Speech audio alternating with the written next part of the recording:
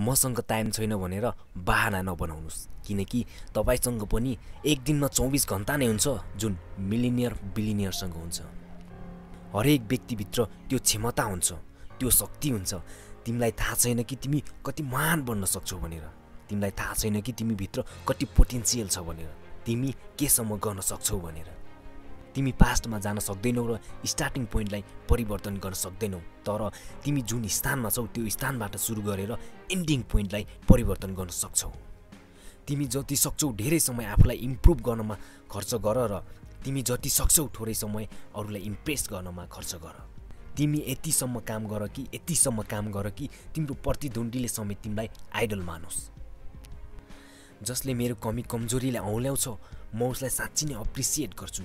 किनकि उनीहरू बिना सायद मैले एउटै गल्ती बारम्बार दोहोऱ्याउँछु।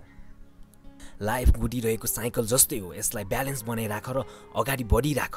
तिमी एक दिन अवश्य तिम्रो गन्तव्यमा पुग्नेछौ। अरूको कुरा सुनेर डिमोटिभेट कहिल्यै पनि नहुनु किनकि मान्छेहरू त भगवान्लाई पनि गाली गर्छन्। मरेको माछालाई मात्र पानीले चलाउँछ। जिउँदो माछाले त आफ्नो बाटो आफै बनाउँछ। स्मार्ट व्यक्तिले हरेक चिज हरेक व्यक्तिबाट सिक्ने गर्छ। एभरेज व्यक्तिले आफ्नो एक्सपिरियन्सबाट सिक्ने गर्छ।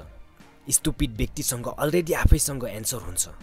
र तिमी कस्तो खालको व्यक्ति बन्न चाहन्छौ? स्मार्ट एभरेज स्टुपिड त्यो तिमीमा भर पर्छ। माई फ्रेन्ड्स यदि तपाईँले यस्तै खालको भिडियोहरू हेरेर नयाँ कुराहरू सिक्न चाहनुहुन्छ भने यो च्यानललाई सब्सक्राइब गरी बेल आइकन थिच्न नछुटाउनुहोला।